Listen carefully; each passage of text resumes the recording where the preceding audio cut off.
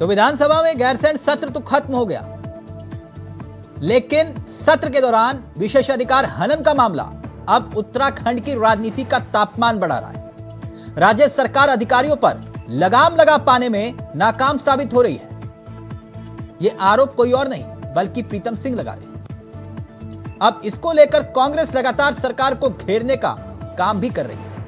वहीं सत्ता पक्ष के खेमे के लोग विपक्ष पर ही सवाल खड़े कर रहे हैं। यानी एक तरफ़ से वार हो रहा है, दूसरी तरफ़ से पलटवार हो रहा है।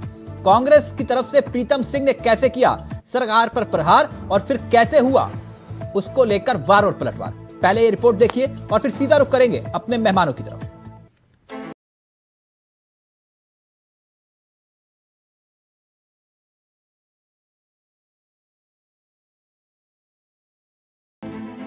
गैरसैंण में हुई सियासी गदर का असर अब राजधानी देहरादून में भी देखने को मिल रहा है। सत्र के दौरान मुख्य सचिव से मिलने पहुँचे चार विधायकों ने उन पर अनदेखी का आरोप लगाया है, जो उन पर अब भारी पड़ता नज़र आ रहा है। कांग्रेस के विधायक सदन के दौरान ही विशेषाधिकार हनन का मामला भी लेकर आए, जिसके बाद पीठ की तरफ़ से सरकार को मामले के संज्ञान लेने के निर्देश दिए गए।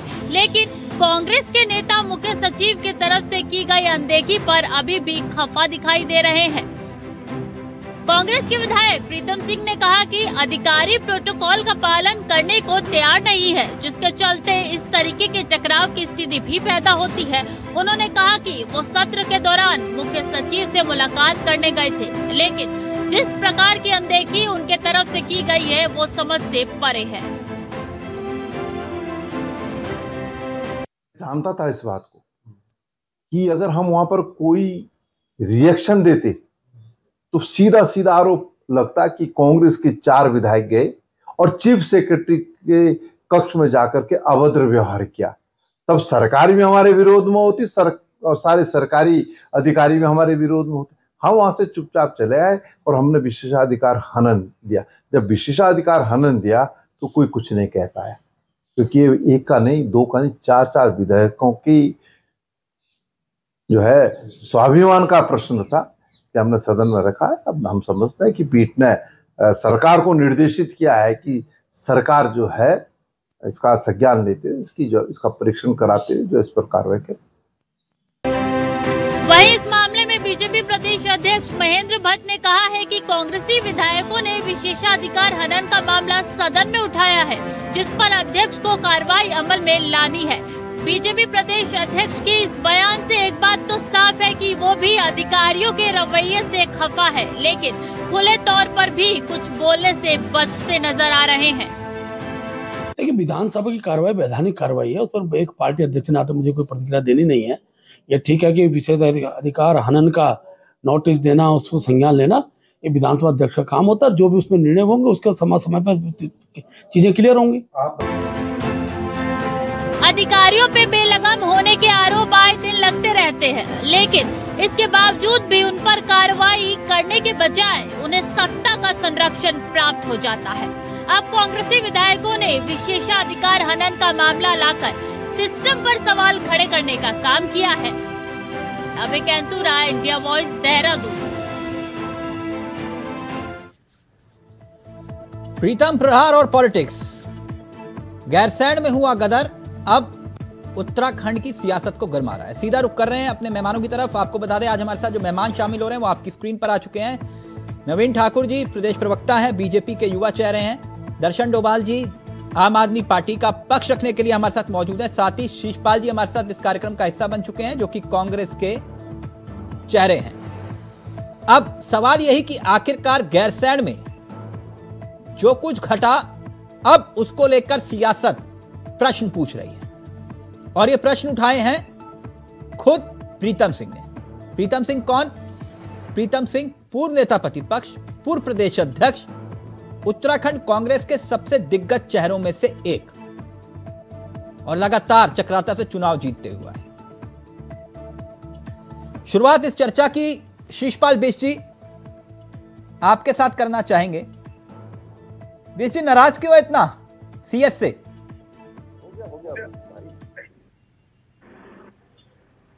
शीशपाल जी मेरी आवाज़ आ रही है आपको? आ रही आ रही जी मैंने कहा इतना नाराज़ क्यों है मुख्य सचिव से? देखिए तिलक जी उत्तराखंड में जो है ब्यूरोक्रेसी बेलगाम है इसके बहुत सारे उदाहरण हैं और ये कांग्रेस विधायकों का ही सवाल नहीं है।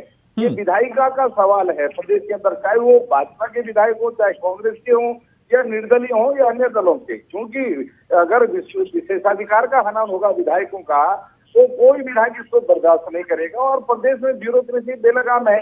ये तो आप देख रहे हैं, चाहे हरिद्वार ग्रामीण की विधायक अमृता रावत जी हों, चाहे ममता राकेश जी हों, चाहे जो है भारतीय जनता पार्टी के पुरोला के विधायक दुर्गेश लाल जी हों, चाहे केदारनाथ की विधायक शैला रानी रावत हों ये बहुत से विधायक हैं जो लगातार ब्यूरोक्रेसी पर आरोप लगाते रहे हैं कि ब्यूरोक्रेसी जो है विधायकों की नहीं सुनती और जो जनहित के मुद्दों को रखने के लिए विधायक जाते हैं वहाँ पर ब्यूरोक्रेसी मनमानी करती है। और ये आरोप केवल भाजपा के या कांग्रेस के विधायकों के लिए कैबिनेट मंत्रियों का भी यही हाल है। जो है पर्यटन मंत्री सतपाल महाराज जी रेखा आर्य जी चरण रामदास जी इस प्रकार की बात को पहले ही लगातार उठा चुके हैं। और कैबिनेट मंत्री तो जो है यानी आप ये कह रहे हैं ये मंत्रियों की नहीं सुनते तो फिर विधायकों की अलग बात है। बिल्कुल बिल्कुल यही हाल है यहाँ पर। ब्यूरोक्रेसी बेलगाम है और प्रदेश के मुख्य सचिव का हाल तो यह है कि वो सीधे मंत्री सीधे मुँह किसी से बात ही नहीं करते। अगर प्रतिपक्ष के नेता जाते हैं तो मिलने का समय तक नहीं दिया जाता। और अगर मिलते भी हैं तो ऐसा है कि ऐसे हवा में मिलेंगे एक सेकंड के अंदर अपनी बात खत्म करिए। तो और यही सत्ता पक्ष के नेताओं का भी हाल है। तो ब्यूरोक्रेसी पर नियंत्रण करना ज़रूरी होगा। जनप्रतिनिधि चाहे किसी भी दल का हो, चाहे भाजपा का हो, कांग्रेस का हो, ब्यूरोक्रेसी को उसको सम्मान देना ही होगा, क्योंकि जनप्रतिनिधि जनता की बात को लेकर के ही अधिकारियों के पास जाते हैं। तो इस बात को ये ब्यूरोक्रेसी समझ नहीं पा रही है। आखिर ब्यूरोक्रेसी बेलगाम क्यों है? ये समझ से परे की बात है। आदरणीय मुख्यमंत्री के संज्ञान में ये मामला कई बार लाया जा चुका है। और आपको याद होगा कि पहले विधायक आदेश चौहान जी ने पिछली बार भी विधानसभा में विशेषाधिकार हनन का मामला उठाया था। तब विधानसभा एक सवाल पूछूँ फिर मैं ठाकुर जी के पास जा रहा दिया था आपके सर सर तो कोई कार्रवाई नहीं बेसी अपनी बात रख दी आपने मैंने रोका नहीं टोका नहीं। आपके वक्त अफसरशाही बेलगाम नहीं थी अफसर सारे सुनते थे। देखिए तिलक जी ब्यूरोक्रेसी पर नियंत्रण इस राज्य में एक बड़ी समस्या है लेकिन अगर आप कांग्रेस के दौर की बात करें खासकर हरीश रावत जी के दौर की बात आपको बात पता होगा कि रात को 12 बजे भी प्रदेश के नहीं, नहीं। के मुद्दों पर जियो नहीं मैं आप आप बार बार नाम लेकर बोल रहे हैं फिर मैं नाम लेकर पूछूँगा सवाल तो फिर आप कहेंगे किसी एक खास व्यक्ति को टारगेट कर रहे हो मैं तभी पूछ रहा हूँ आपसे कि आपके आपकी सरकार में अफसरशाही बेलगाम नहीं थी बिल्कुल देखिए कांग्रेस ने ब्यूरोक्रेसी को एक दायरे में रखने का प्रयास किया और जन अच्छा मतलब अफसरशाही आपके वक्त में बेलगाम नहीं थी। ठीक ठीक अभी अभी मैं उस पर भी आऊँगा। ठीक नवीन ठाकुर जी सुना आपने? वो ये कह रहे हैं कि मसला विधायिका का है मसला विधायकों के सम्मान से जुड़ा है। और अफसरशाही बेलगाम है ये लड़ाई यहाँ से शुरू होती है। तिलक जी। पहले तो इनकी सरकार का बता दूँ कि इनके प्रदेश अध्यक्ष जो है मुख्यमंत्री को पत्र लिखते थे अफसरशाही को लेकर। जो आज यहाँ पर ये बात बता रहे हैं इनके प्रदेश अध्यक्ष पत्र पत्र खेलते थे उस वक्त। आज को पत्र लिखना पड़ता अध्यक्ष जी? आज भारतीय जनता पार्टी में है। जी पूरी बात बताइए हैं। सर आप अधूरी बात मत बोला करिए फिर दर्शन जी नाराज़ हो जाते हैं आपने पूछा तो मैं पूरी बात बता दी। लेकिन इनके शासन में उस वक्त प्रदेश अध्यक्ष थे ना इनकी सरकार के हाँ। तो इनकी पोल पट्टी खुली। जो अभी ये बता रहे थे कि नहीं नहीं अफसरशाही दायरे में थी। कितनी बेलगाम थी क्या हाल था कि प्रदेश अध्यक्ष को जो है दिल्ली चिट्ठी लिखने पड़ती थी? वो शायद भाई साहब भूल गए होंगे। लेकिन इस बात को हम भी मान रहे हैं कि जनप्रतिनिधियों का सम्मान होना चाहिए और अगर कोई अधिकारी उनको सम्मान नहीं दे रहा है तो निश्चित तौर पर जो है उस अधिकारी पर कार्रवाई। ठाकुर जी। सदन में। जी। ठाकुर जी कब हुई कार्रवाई? मैंने कहा कार्रवाई होनी चाहिए। नहीं होनी चाहिए। और आप ये कह रहे हैं। देखिए पीठ का वो तो ये कह रहे हैं बेसी कि आपके मंत्रियों की भी नहीं सुनते हैं अधिकारी। नहीं नहीं अब वो बिष्ट जी को कहने का अधिकार है विपक्ष में है। मैंने कहा ये जो विशेष अधिकार का मामला था क्यों? का सुनते हैं आपके आपके मंत्री भी कई बार इस बात की शिकायत कर चुके हैं। गलत क्या कह रहे हैं बेसी? नहीं नहीं मैंने कहा ही नहीं कि गलत कह रहे हैं। मैं तो हाँ। उनकी बात को मान रहा हूँ और पहले ही कहा कि सभी जनप्रतिनिधियों का सम्मान होना चाहिए और कोई अधिकारी अगर जो है उनके सम्मान को ठेस पहुँचा रहा है तो बहुत गलत है और उसके खिलाफ कार्रवाई होनी चाहिए। मैंने नहीं कहा हुई है होनी चाहिए। और क्योंकि मामला पीठ के अंदर का है सरकार का नहीं है सीधा या कहीं बाहर किसी चाक चौराहे पर इस प्रकार की घटना हुई हो पीठ के अंदर का मामला है और पीठ ने आदेश दिए हैं। आदेश चौहान जी के मामले में जाँच के आदेश हुए हैं। और माननीय प्रीतम सिंह जी और अन्य तीन विधायक जो आदरणीय प्रीतम सिंह जी के साथ थे उन चारों के मामले में भी पीठ ने जाँच के आदेश दिए हैं। तो निश्चित तौर पर कार्रवाई होगी। और ये जो अफसरशाही के बेलगाम होने की बात कर रहे हैं ये भाजपा की सरकार है जिसने एक आज आई एक आईएएस जेल में है। ये भाजपा की सरकार है एक आईएएस को बर्खास्त करने का काम किया। भाजपा की सरकार कि देहरादून के आरटीओ को बर्खास्त करने का काम माननीय पुष्कर सिंह धामी जी ने किया। और अफसरों के पेच कसने का काम लगाम लगाने का काम भाजपा की सरकार में। यानी ठाकुर जी आप मुझसे ये कह रहे हैं कि जो खंडूरी जी नहीं कर पाए वो धामी जी कर रहे हैं? नहीं मैंने ऐसा नहीं कहा। अच्छा मुझे ऐसा लगा है आपकी बात से कि हमने ही नहीं, किया। देखिए तो मुझे लगा कि शायद खंडूरी जी ये तो तो धन्यवाद आपका तिलक जी कि आपने याद दिलाया कि उस सरकार में भी हमारे खंडूरी जी के टाइम नहीं नहीं मैंने मैंने इसलिए याद दिलाया। ना मैंने मैं तो नाम। निशंक जी का भी ले सकता था है जी, ना? जी, बिल्कुल, मैं नाम तो मैं नाम तो फिर त्रिवेंद्र सिंह रावत जी का भी ले सकता था तीरथ जी का भी ले सकता था। मैंने खंडूरी जी का नाम कार्यकाल क्यों का भी आपने याद दिलाया कि जिस प्रकार आज लगाम कसी जा रही है उस कार्यकाल में भी खंडूरी जी ने भी जो है उनके शासनकाल में नहीं खंडूरी जी ने कहा था खंडूरी जी ने कहा था क्या कहा था बिश जी? कि घोड़सवार नकेल कसने आनी चाहिए। बिल्कुल। है ना? जी। वही असली घोड़सवार होता है। जी, यही कहा था मैंने इसलिए ज़िक्र किया था ये। बिल्कुल बिल्कुल।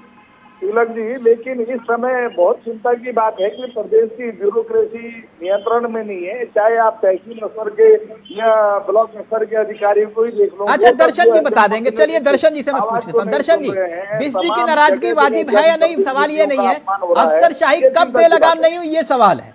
वो ये कह रहे हैं कि अगर बेलगाम है तो कब नहीं हुई ये भी तो सवाल है कि नहीं? दर्शन जी। तिलक जी अ, अफसरशाही बहुत लंबे समय से उत्तराखंड में हावी रही है। चाहे भारतीय जनता पार्टी सरकार रही हो उससे पूर्व में कांग्रेस की सरकारें रही हो। दरअसल जो अफसर है इनको मोटी तनख्वाह पर इसलिए यहाँ रखा गया कि ये हमारे उत्तराखंड में जो योजनाएँ हैं उसको अच्छी योजनाएँ लागू करे। उसके लिए जो इनका काम है वो करना चाहिए। लेकिन ये तो मुझे लगता है कि नेताओं से भी ज़्यादा बड़े नेता बन गए हैं।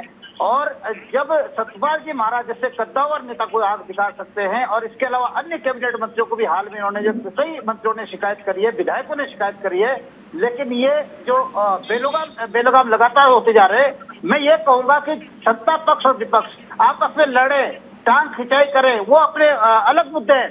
लेकिन अफसरों पर नकेल डालना सबके लिए नितांत आवश्यक है। इन्होंने हमारे उत्तराखंड का बंटाधार कर दिया है, इन अफसरों ने। और मैं आपको बताना चाहता हूँ, ये क्यों बेलगाम हुए? इसकी जड़ में जाना ज़रूरी है। क्योंकि जब इनका हम गलत इस्तेमाल करते हैं, जब इनसे हम गलत काम करवाते हैं तो हमारी हिम्मत नहीं होती है कि आप बेलगाम क्यों हैं, आप इस तरह से हमें आप क्यों दिखा रहे हैं? क्योंकि उल्टा काम से करवाते हैं। सत्ता में रहने, बने रहने के लिए और कई तरह के भ्रष्टाचार में इनको शामिल किया जाता है, क्योंकि इनके बगैर भ्रष्टाचार संभव नहीं है। जैसे हाल के दिनों में अभी यूके ट्रिपल से लेकर के पटवारी घोटाले तक कई जो घोटाले हुए हैं। कई पेपर लीक हुए हैं और अन्य कई घोटाले इससे पहले पूर्व में भी हुए तो ये कहीं ना कहीं जो है सरकार में बैठे मंत्रियों के और इनकी मिलीभगत से या मुख्यमंत्री की शय पर होता है। इसलिए ये बेलगाम होते हैं। अन्यथा इनके क्या मजाल है कि ये जो है अ, हमारे नेताओं को आँख दिखा सके? ये नौकर है। नौकर सा मतलब नौकर। ये नौकरी करने आए मोटी तनख्वाह पर। इनको तो आदेश इनका होना चाहिए ये उल्टे उन पर आदेश लगा रहे हैं। दूसरी बात आप देखिए, अभी मुख्यमंत्री जी जब रिटायर्ड होने के बाद भी इनको ही वापस जो है अपने सलाहकार के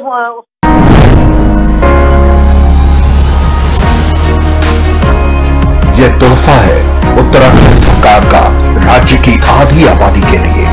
सरकारी नौकरियों में 30 प्रतिशत का क्षतिज आरक्षण महिला सशक्तिकरण में मील का पत्थर साबित होगा।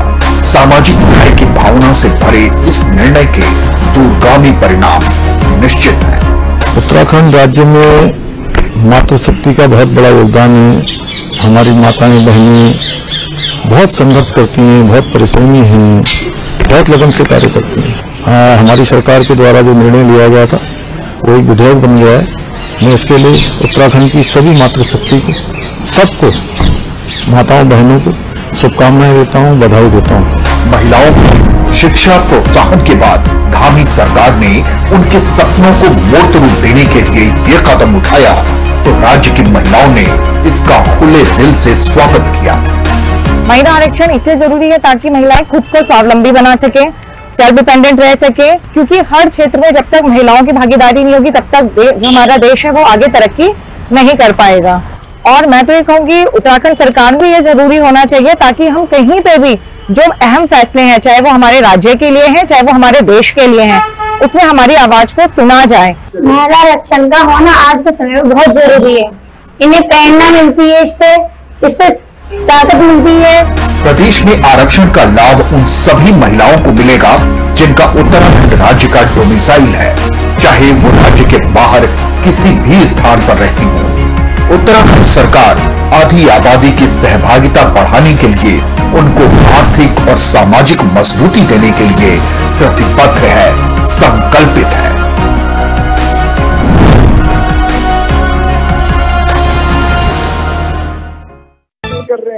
राज्य हित के मुद्दे जो कैबिनेट में बैठक लाने की कैबिनेट बैठक में लाने चाहिए अधिकारी वो नहीं ला रहे हैं और दो दो और मुख्य सचिव के अधिकारी कैबिनेट बैठक में लड़ पड़ते हैं। तो आप देखिए किस कदर ब्यूरोक्रेसी यहाँ पर नियंत्रण से बाहर बाहर मैंने आपसे जो सवाल किया आपने मेरे सवाल को क्यों घुमा दिया? मैंने कहा कि क्या क्या अधिकारियों को इस बात का इल्म नहीं होता कि किस विधायक की सुननी और किस विधायक की नहीं सुननी?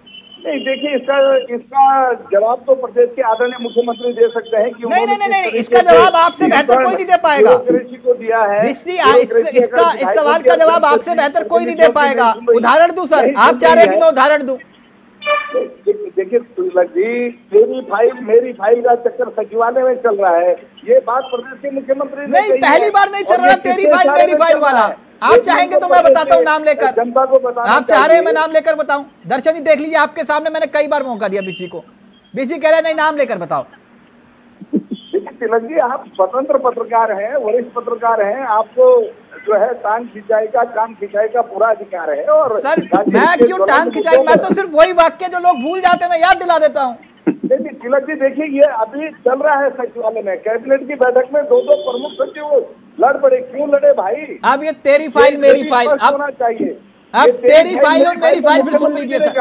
अच्छा ठाकुर जी कह रहा दर्शन जी गलत बोलूँगा तो फिर एक एक देखिए परिवहन विभाग का आपको याद होगा जब यात्री किराए में भाड़े में वृद्धि हुई तो प्रदेश के परिवहन मंत्री कर्नल रामदास जी ने कहा मेरे संज्ञान में नहीं है। ये अंतिम फैसला तो प्रदेश के मुख्यमंत्री लेंगे। तो अधिकारियों ने कहा नहीं जी हमने फैसला ले लिया है। एक कहा गया कि जो है नहीं फैसला मुख्यमंत्री अच्छा एक एक एक सेकंड एक सेकंड एक एक मिनट एक मिनट एक मिनट एक मिनट। हो सकता है मैं गलत हूँ।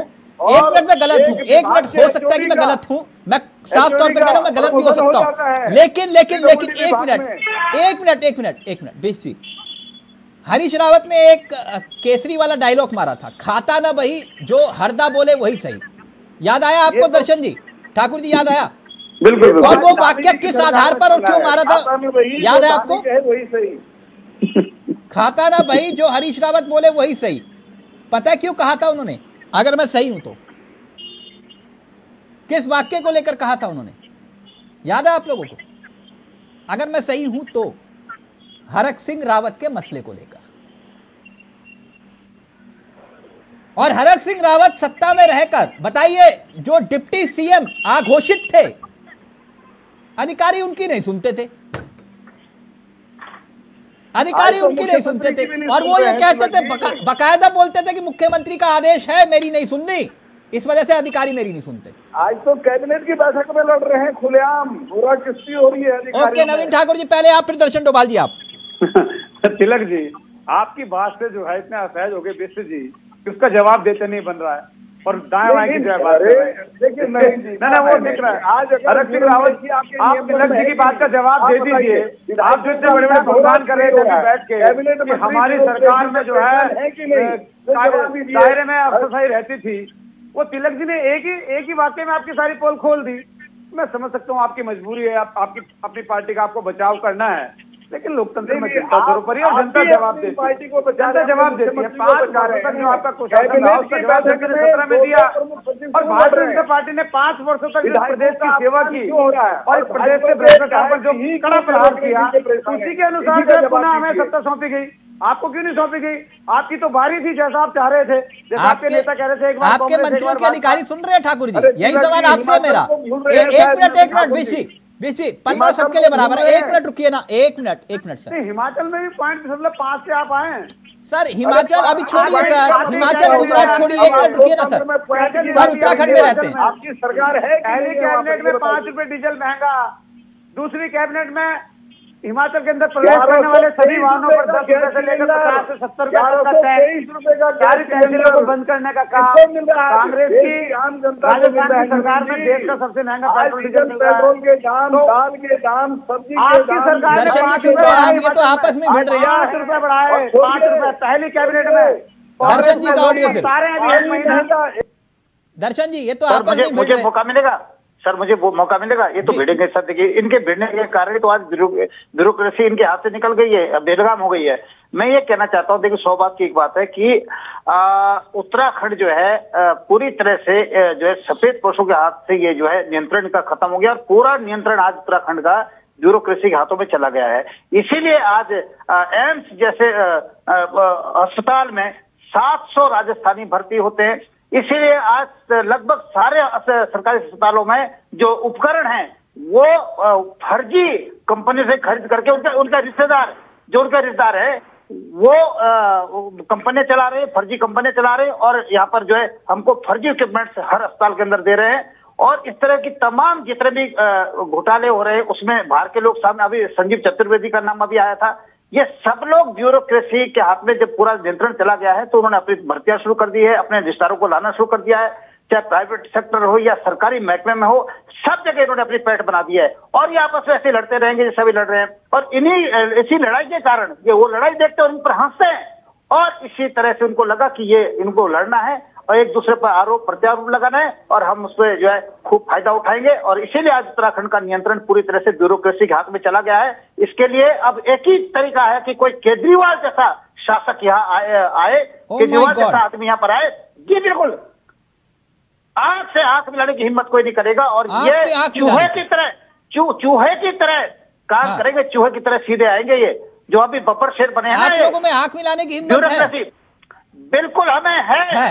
इसीलिए तो आपने कल देखा केजरीवाल जी का भाषण? नहीं बिल्कुल बिल्कुल। कल सुना आपने? हाँ मैंने सुना। क्या कहा? ना भूतों में भविष्य ऐसा कोई भाषण दे पाएगा? ऊपर जो है दुनिया में चर्चा उस भाषण की मैं समझ रहा हूँ आपकी बात, सर। की जमात जब अनपढ़ों की जमात इनको ये पढ़ना ही नहीं आया कि जो है किस तरह का वो दर्शन दर्शन देखिए, बिना तो लीजिए ना। उन्होंने फिर से वो बजट तो। बजट पढ़ना नहीं आया उनको। बजट तो पढ़ने। लायक भी क्षमता नहीं है किसी के अंदर। तो तो आज उनका कहना यही था कि आपकी पार्टी आविष्कारी पार्टी है मैं मान रहा हूँ इस बात को। चमत्कार करने वाली पार्टी ये भी मान रहा हूँ। बिल्कुल है हाँ, बिल्कुल सुन तो लीजिए, सर। किया है दस साल के अंदर राष्ट्रीय पार्टी बन गई बड़ा चमत्कार और क्या हो सकता है? दर्शन जी, सुन में तो लो, सात इतना भी मत- तीन बार सत्ता में है पंजाब हमने पूरी तरह से छीन लिया इन लोगों से। इससे बड़ा क्या चाहिए? दस साल के अंदर हमने पाँच राज्यों में जो हमारे विधायक है दो जगह सरकार है। दर्शन जी, दर्शन जी, उत्तराखंड और मोदी जी का गढ़ में जाकर दर्शन जी, दर्शन जी, दर्शन जी। दर्शन जी दर्शन जी। उत्तराखंड पे आए? आँख से आँख मिलाने वाला एक कैंडिडेट आपने आप आप सर, सुनना नहीं चाह रहे तो फिर वो आपकी मर्ज़ी। मतलब आप- ये नहीं मानोगे आप नहीं सुनना चाह रहे, आपकी मर्ज़ी, कर दिया, सवाल।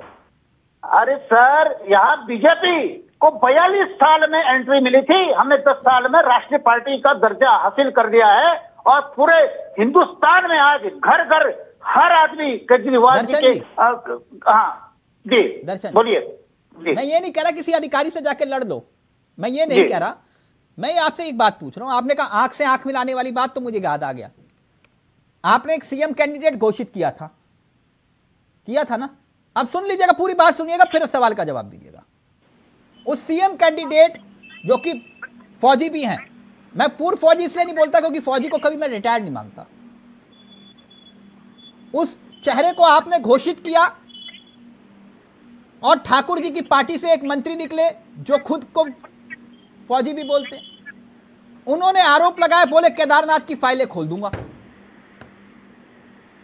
बोले केदारनाथ की फाइलें खोल दूँगा। पूरी की पूरी पार्टी जो थी यू चुप्पी। चुप। कोई नहीं बोलेगा। कोई नहीं। बिल्कुल ठीक। है ना? ये हुआ था ना? डरा दिया डरा दिया डर गए? यही कहना चाहते ना, डर गए? भगत सिंह डर गए? तो यही तो महाराणा प्रताप डर गए? इसीलिए तो उस समय खुद थे लच्छा बाबू। इसीलिए अन्य पड़ो की जमात ऊपर से जो जो आज देखो दिल्ली में ऐसा भी जो करो ना डुबाल साहब।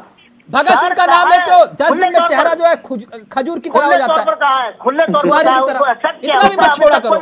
उस पर कोई बयान नहीं अभी तक। डोभाल जी बस हो गया ना इतना मत करो। डोभाल जी बस हो गया। कि वास्तव में अनपढ़ों की जमात है। इसलिए आज ये डराने धमकाने सर काम आपके नेता गैरसैंण को राजधानी घोषित करने की बात कर रहे थे। कभी गैरसैंण गए थे? बिल्कुल। गए थे गैरसैण? हमारे कार्यकर्ता अभी अब आप क्या कार्यकर्ता गए थे। पूरी टीमें अपनी नेताओं को ले जाइए सर कार्यालय खोल दीजिए वहाँ गैरसैण सर, में। हमारे नेता कहाँ नहीं गए उत्तरकाशी तक पहुँचे। हिमालय छोड़ दीजिए ना सर। क्या बात कर ठाकुर जी, मनीष जी। तीन तीन बार जो है मनीष साहब मैं मान गया तिवारी डोभाल जो जी है, क्यों मुझसे बहस कर रहे हो सर?